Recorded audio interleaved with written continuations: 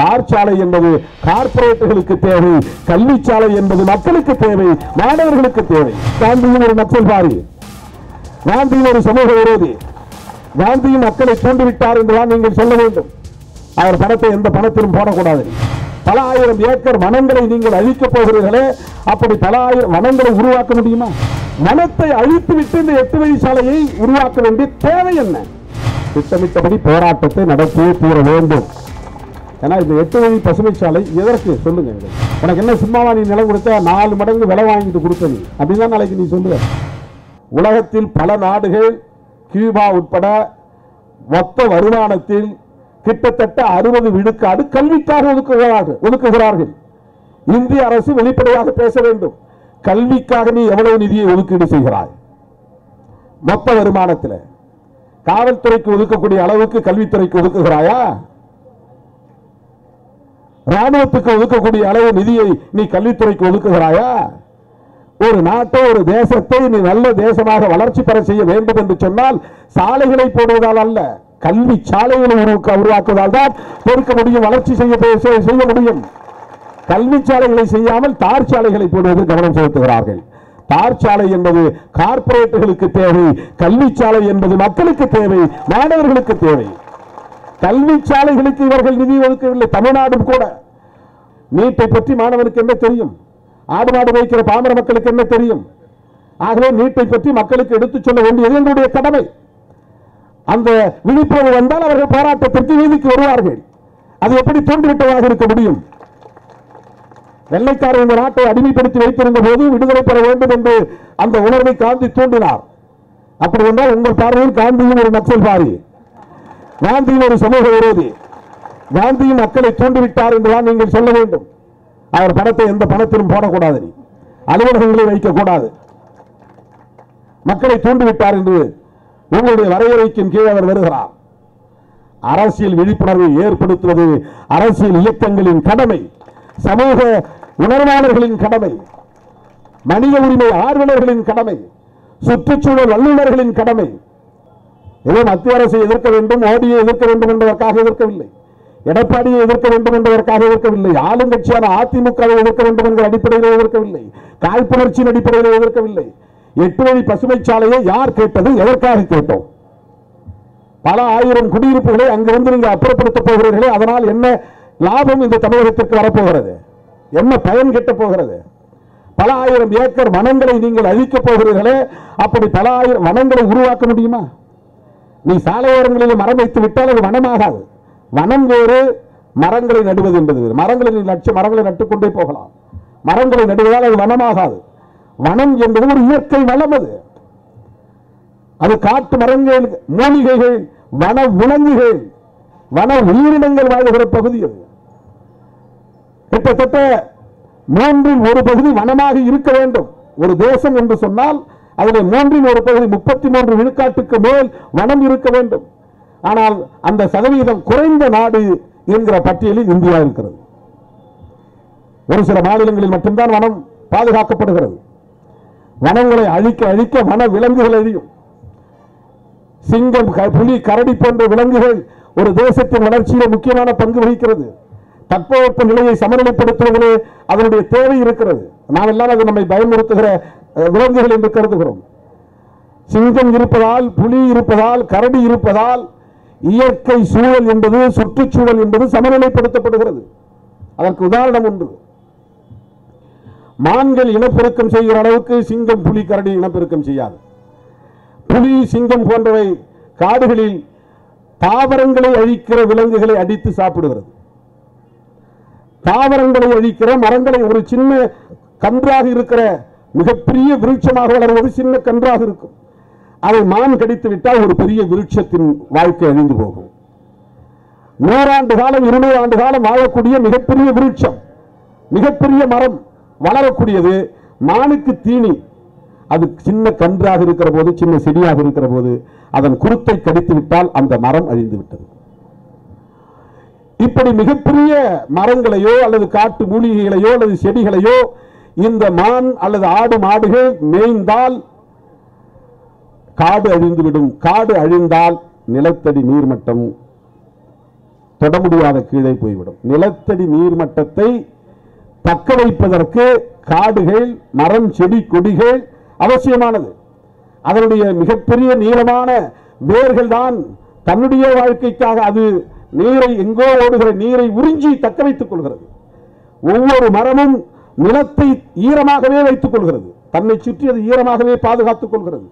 எவ்வளவு ஆழத்தில் நீர் இருந்தாலும் எந்த பக்கம் நீரோட்டம் இருக்கிறதோ அதை நோக்கி அது பாயும். அதன் வேர்கள் பாயும். அங்கிருந்து நீரை உறிஞ்சி அது தன்னை சுற்றி ஒரு ஈரப்பதத்தை தக்க வைத்துக் கொண்டே இருக்கும். ஆகவே செடிகள் க- மரங்கள் காட்டு மூலிகைகள் பசுமையாக இருக்க வேண்டுமானால் மான்கள் இனப்பெருக்கம் கூடக்கூடாது ஆடு மாடுகளின் இனப்பெருக்கம் கூடக்கூடாது பெருகக்கூடாது. அந்த மான்களை ஆடு மாடுகளை தாவரங்களை தின்னுகிற விலங்குகளை அடித்து புலியும் மானும் புலியும் சிங்கமும் சாப்பிடுவதால் தான் புலியும் சிங்கமும் மான்களை அடித்து சாப்பிடுவதால் தான் மான்களின் இனப்பெருக்கம் கட்டுக்குள்ளேயே இருக்கிறது. அந்த செடி கொடி தாவரங்களில் அழிக்கப்படாமல் அதுவும் பாதுகாக்கப்படுகிறது. அதனால் நிலத்தடி நீர்மட்டம் தக்க வைக்கப்படுகிறது. அதனால் இயற்கை சூழல் சமநிலையிலேயே இருக்கிறது. இந்த இயற்கை சூழலை சமநிலைப்படுத்துவதற்கு புலியின் பங்களிப்பு எவ்வளவு மகத்தானது என்பதை புரிந்து கொள்ளுங்கள். ஆடு மாடு கோழி போன்றவற்றை பலியிடக்கூடாது என்று ஜெயலலிதா அவர்கள் ஆணையிட்ட போது நான் ஒரு துண்டறிக்கை வெளியிட்டேன். அப்போது ஒரு மாநாடு நடத்தும் போது அவரை குறிப்பிட்டிருந்தேன். ஆடு கெடா கெடாவை நீங்கள் பலியிடுவதெல்லாம் கெடாவைத்தான் பலியிடுவார்கள்.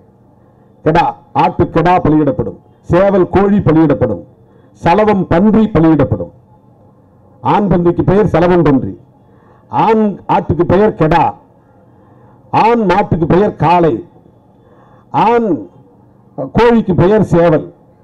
எந்த இடத்தும் பெட்டை கோழியை பலியிட்டு நீங்கள் பார்த்திருக்கிறீர்களா? கிடையாது. பெட்டை ஆட்டை பலியிட்டு இருக்கிறார்களா? கிடையாது.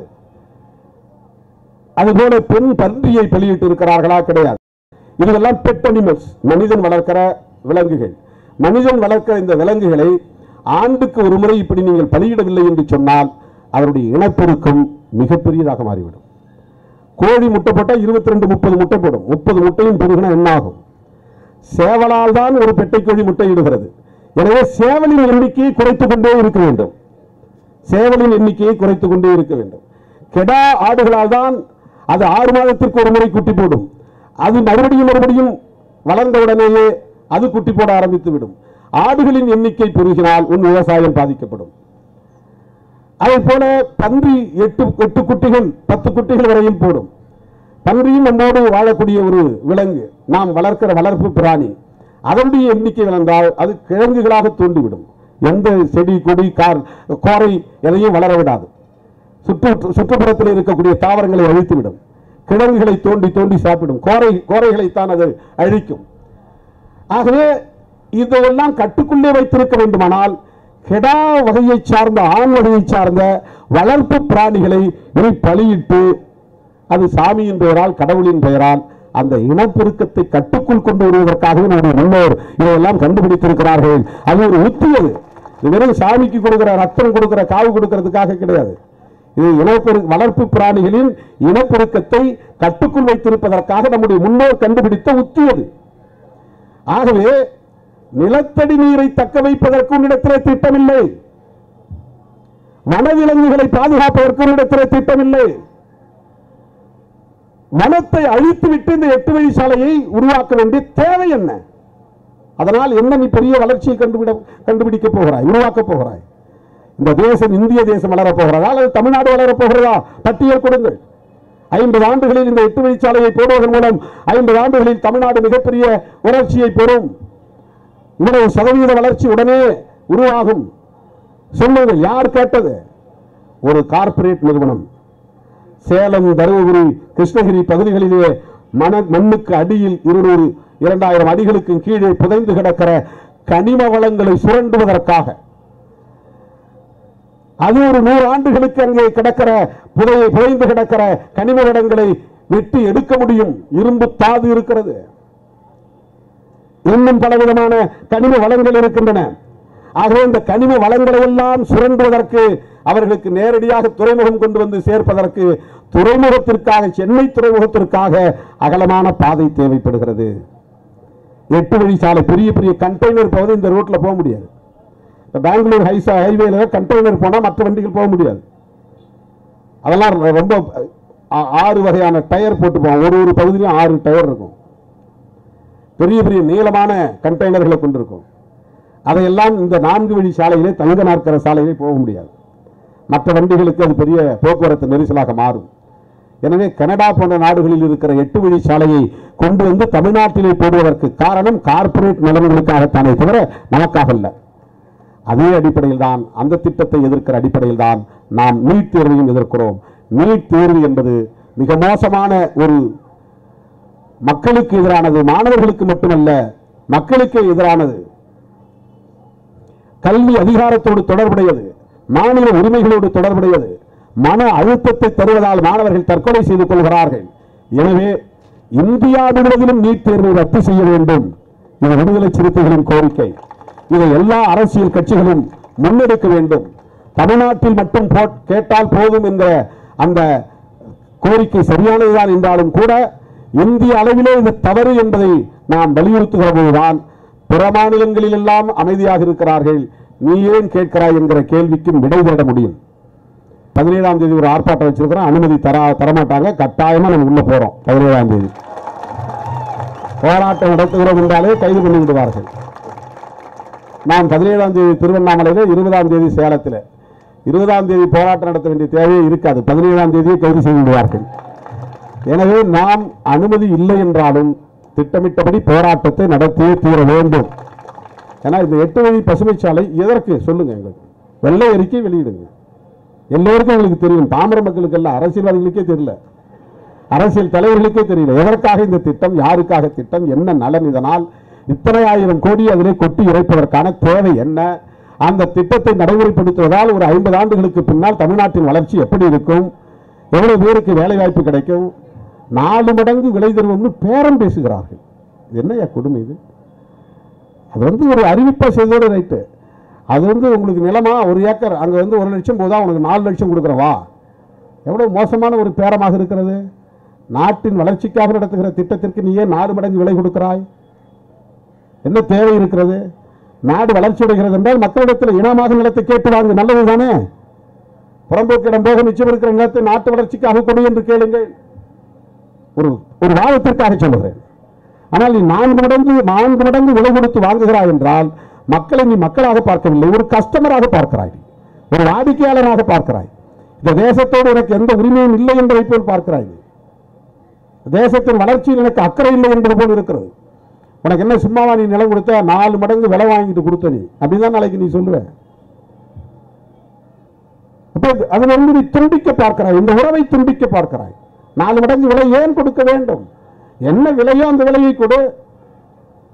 கொஞ்சம் அது வந்து கூடுதலா கூட இருக்கலாம் தவறில்லை. ஆனால் நான்கு மடங்கு ஏன்? அதே நான்கு மடங்கு என்று சொல்கிறாய்.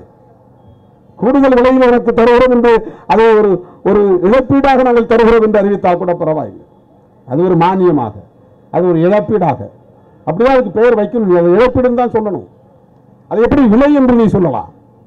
ஒரு மடங்கு விலை மூன்று மடங்கு இனாம் அல்லது மானியம் அல்லது இழப்பீடு. அப்படித்தான் சொல்ல வேண்டும்.